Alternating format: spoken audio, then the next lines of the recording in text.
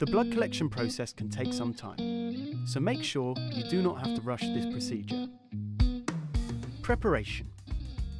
You need to be well hydrated, so drink a glass of water 10 to 15 minutes before you collect your blood. Make sure your room is comfortably warm.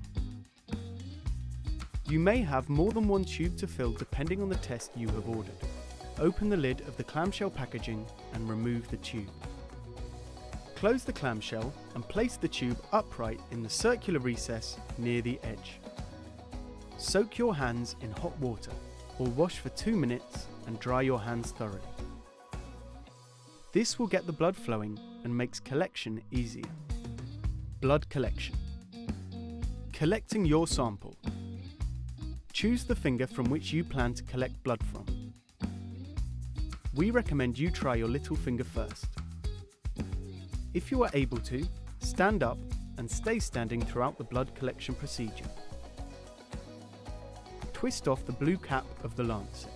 Place the lancet firmly against the outside of the pad of your finger. Apply increasing pressure until you hear a click. You will feel a small scratch. Massage the side of your hand from your wrist down your finger towards the tip to encourage blood flow. As the blood drops form, gently touch them on the inside edge of the tube to collect them. Fill the tube to the recommended level.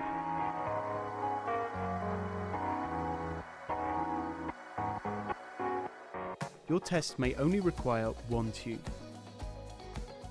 If you fail to collect enough blood from your selected finger, repeat the process on a different finger using the spare lancet. Continue to fill into the same tube. After blood collection, securely replace the lid and gently invert the tube several times. Returning your sample. Place the tube or tubes back into the plastic clamshell and firmly close the two sides together. Fill in the day's date on the form and tear off along the perforations. Pack the clamshell with the completed form into the prepaid envelope and seal. Please post the same day. Your test results will be available to view on your password protected dashboard in approximately two days.